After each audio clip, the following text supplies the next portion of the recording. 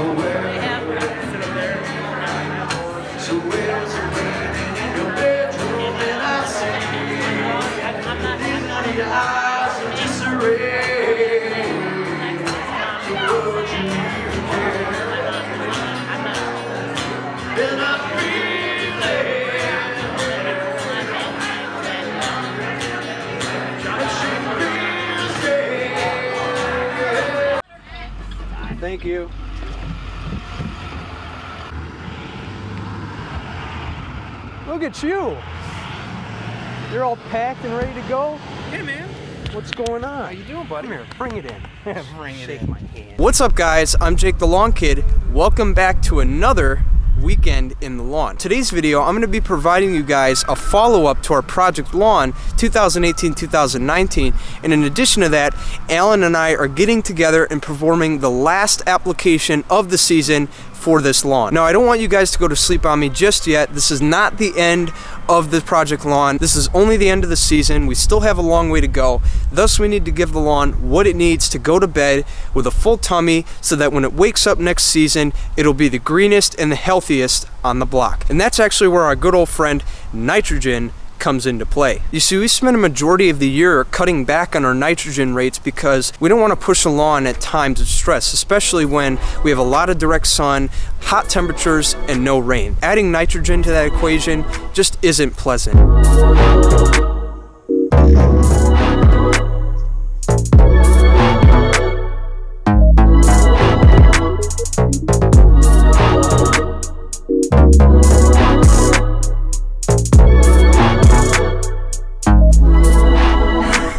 Oh, he's mowing. Yeah, look at that. Oh yeah, look at that. Seriously though, look at that. Nice, nice color. All right, Looks awesome. let's go check it out.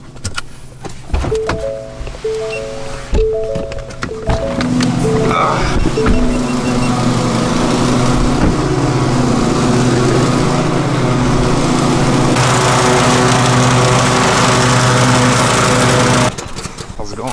Well, Looks pretty good, huh? yeah, it does. Yeah, it feels sweet.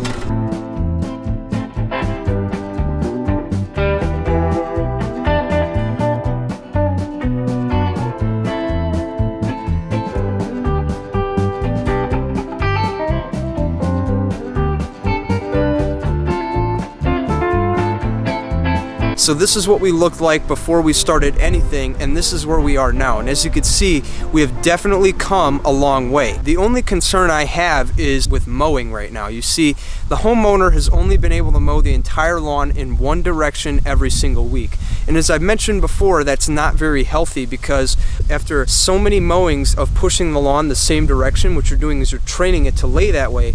Thus, when you cut it more and more, you're actually getting less and less of a true cut, and the blades are going to lay over even more. And then when summertime comes and it gets hot and humid, that's when your lawn is going to be more vulnerable to fungus because it's laying over and it's not getting adequate airflow like it's supposed to. Now, I do understand the homeowner's block there because he actually does have a steep incline that he has to deal with in the front yard. So, what I would suggest for that is not to do anything too crazy along the slope, but the areas that are more manageable, like for example, on this lawn, the sides and the top area on the front and the little next area that we're doing, I recommend changing the direction up on those every few weeks at least because the idea being is we want to train the grass blades to stand up straight. We don't want them laying over because that'll create more problems later on. From the initial video we did here on step one, you guys met Max. This is Rich, the owner's son here, and he's going to help us out a little bit today. Uh, Max, so far, what do you think of the yard? It is good. Looks awesome, doesn't Yeah. it? A lot better because you'll remember last time we looked at this, this area was nothing but bare dirt. Seriously, it looks Yeah. way better than it did. You really think you saw a difference, huh? Yeah, it's beautiful. Well, that is until you get back here. All right. Let's take a look oh, at this. Oh, here it is. Yeah, now you can see. It like drops off. Yeah, see it? This is where we did all of our treatment. Did aerate, overseed starter, Milo. And then over here, this got nothing because the swimming pool. I corresponded with the homeowner, Rich, and he told me that the construction for the swimming pool here is actually going to be starting in a couple of weeks. When do you think all that construction will start for the pool? So the pool will start in October, Okay. and so the hole will be dug. Right. And then depending on the weather, if the weather works out, they'll finish it. If not, Okay. then they'll have to come back in the spring and then finish everything up. All right, sounds good. Damn, that camera adds 10 So the reason I recommend applying nitrogen right now is because like I said earlier, this is when the lawn is going to start to store any nutrients that we put into it so that it can better utilize them in the spring. And that holds true with nitrogen. We've pushed our root growth pretty much all season. Now it's time to implement some nitrogen so that we can get a deeper green N-Ext spring. Thus your lawn will be the greenest and the healthiest on the block. For this, we're going to be using two products. Number one, we're going to be using Milorganite, and that's going to go down on sections one, three, and four. In addition to that, we're also going to be using Greene Punch. Now that's going to be for section two, which is more specifically an area where we're only doing full-on liquid. To be more specific, next products only throughout this program. The Milorganite, we're going to put that down at seven pounds per thousand. If you do the math on that, that's going to give us just under a half pound of nitrogen. And the Greene Punch, we're going to put that down at 18 ounces per thousand. If you do the math on that, you'll come to realize that that'll give us just under a third pound of nitrogen. The whole idea here being is that we don't want to put down too much nitrogen. We want to give the lawn just a little kick so that it can overwinter and then when next spring comes, it'll blow up green and again, it'll be the best on the block.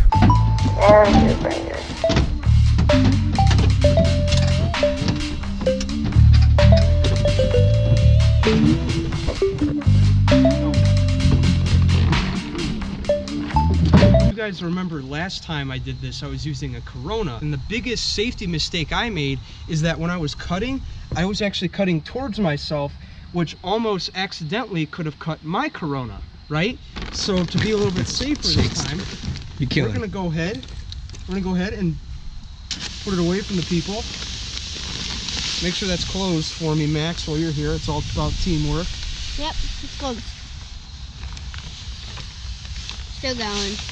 So I think actually what you just did was you just pointed it towards your cameraman. So Oh, maybe on. you saved yourself, but you Well, hey, aren't you supposed to do these things? It's like war, man. You can't always stay in the safe place to get the action shots. That's true. I jeez, man.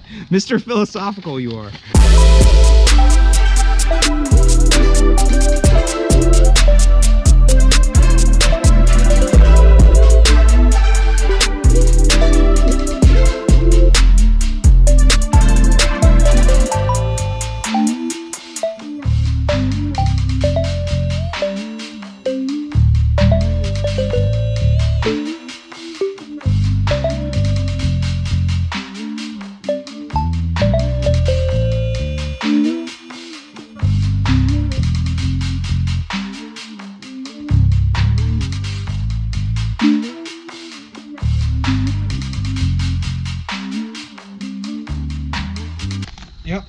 No slip, pour, spread action on this yard.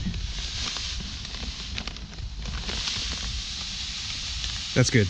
So Max, Hey. from from what people have seen in the last video, we're actually picking up on the fact that I want to inspire young people like you to introduce you guys to hard work and show you guys what comes with it. And I also want to teach you a couple things about, you know, the fundamentals of having a nice lawn, right? And it's good to learn that while you're young because it teaches you how to think critically. It teaches you how to look at things different. It kind of teaches you how to implement strategy in your day-to-day life. And I think that's a really great thing to think about when you're taking on a project like this, especially when you got little ones around. Get them involved because you want to get them thinking like young generals on the battlefield. I think what he's trying to say is that since he's making me learn about hard work and stuff, maybe once I grow up, I can teach other people, which can teach other people and other people and other people.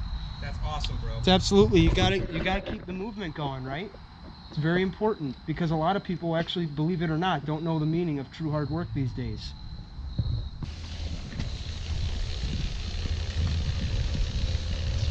Doing good.